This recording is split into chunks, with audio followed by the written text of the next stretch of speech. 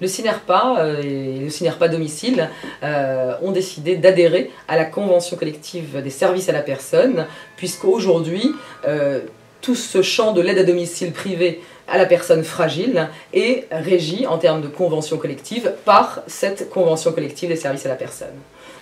Le CINERPA très naturellement, euh, déjà euh, à la table des négociations sur la convention collective unique dans le champ euh, des EHPAD et dans le champ de l'hospitalisation privée, a fait le choix, et c'est un engagement fort de sa part, d'aller adhérer à la convention des services à la personne afin d'en devenir partenaire social au même titre que la FESP, la FEDESAP et les autres syndicats de salariés présents autour de la table et afin de mener des négociations sociales d'envergure pour les années à venir.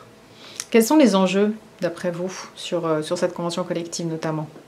L'enjeu, en ce qui concerne le CINERPA, c'est de pouvoir faire reconnaître la spécificité des services à domicile privé à la personne âgée. C'est tout l'objet de la création du CINERPA domicile, c'est tout l'objet de la loi d'adaptation de la société française à son vieillissement, puisque elle permet désormais un statut unique pour l'aide à domicile à la personne âgée.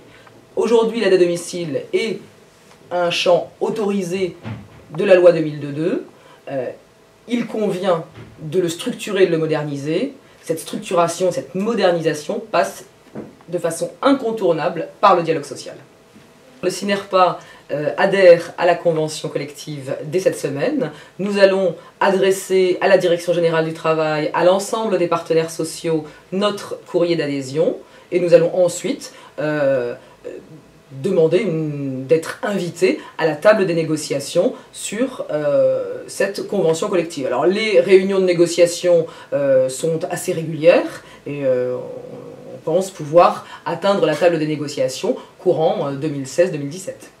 Notre priorité au CINERPA en termes de dialogue social va avoir pour axe bien évidemment la professionnalisation nous avons un besoin particulier de professionnalisation dans ce secteur de l'aide à domicile à la personne fragile.